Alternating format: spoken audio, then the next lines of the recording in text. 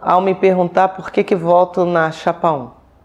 Eu voto na Chapa 1 primeiro porque eu confio nas pessoas que são da Chapa 1.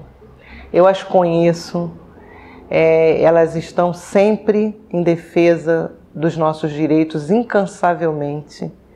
São pessoas que respeitam essa categoria, trabalham para elas dia e noite.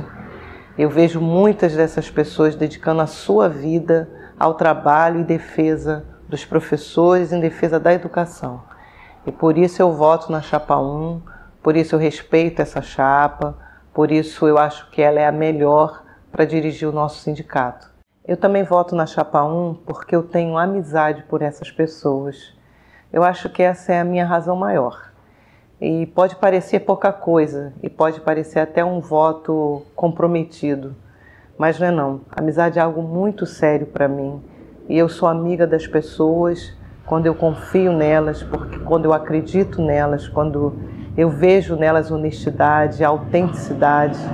Então é por isso que eu sou amiga delas. Então eu acho que a amizade é algo fundamental na vida.